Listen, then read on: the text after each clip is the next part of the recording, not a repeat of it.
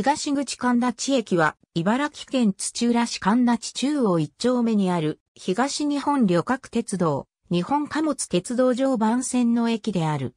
当駅は、土浦市の北部に位置し、神立工業団地と臨市霞ヶ浦市中心市街地の最寄り駅である。単式ホーム一面一線と島式ホーム一面二線、合計二面三線のホームを有する。2019年3月に、橋上駅舎が供用開始された。橋上駅舎は、霞ヶ浦の保引船をイメージしたデザインとなっている。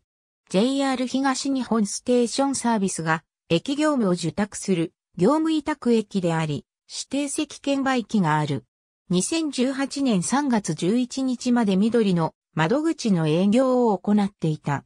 駅構内敷地は大部分が土浦市にあるが、一部は霞ヶ浦市にまたがっている。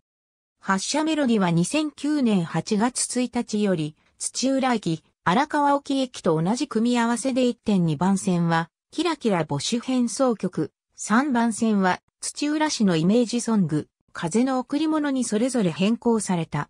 2008年現在、臨時車扱い貨物のみを取り扱っており、そのため貨物列車の設定はない。1998年まで専用線発着の車扱い貨物を取り扱っていたため、貨物列車の設定があった。専用線は、かつて駅周辺にあった新日本石油土浦輸送所のタンク車用石油に薬設備へ続いていた。そのため、根岸駅から滝線経過車のみで編成された高速貨物列車などが設定されていた。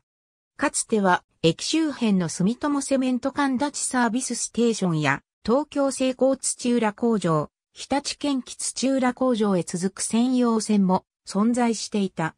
JR 東日本によると、2020年度の1日平均乗車人員は4051人である。2000年度以降の推移は以下の通りである。駅改良工事に合わせて西口駅前にタクシープールなどを含めたロータリーが再整備されたが移転に応じないどんどん焼き店があるため整備途中で形状が変更され予定より小規模なものとなっている。神立駅停留場にて関鉄観光バスの路線バスが発着する。神立駅東口停留場にて関鉄観光バスの路線バスが発着する。ありがとうございます。